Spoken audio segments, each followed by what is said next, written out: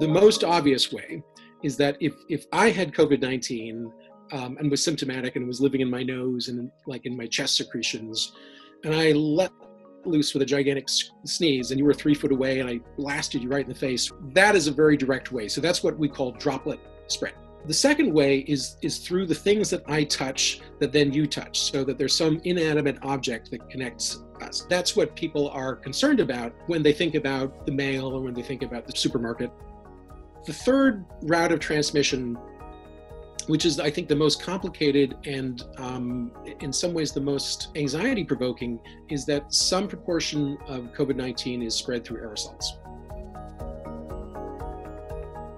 In aerosols, we're talking about very, very, very small, tiny vapor like droplets that are below the size of a micrometer, maybe 100 nanometers, that can float around in the air for minutes or maybe even hours after I have left that space. When we think about the six foot radius that we're supposed to keep away from each other, the reason for the six feet is that that's about the maximum distance that I could possibly hit you directly if I sneezed or coughed the, the aerosols, you know, don't obey that six foot rule at all. The virus decays very quickly in air.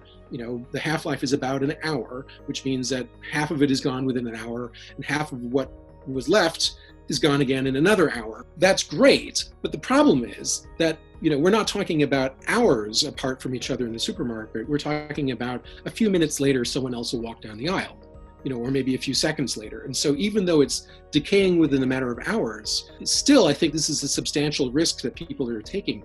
You obviously can't protect yourself against that by washing your hands or wearing gloves. For that, the only protection really would be a mask.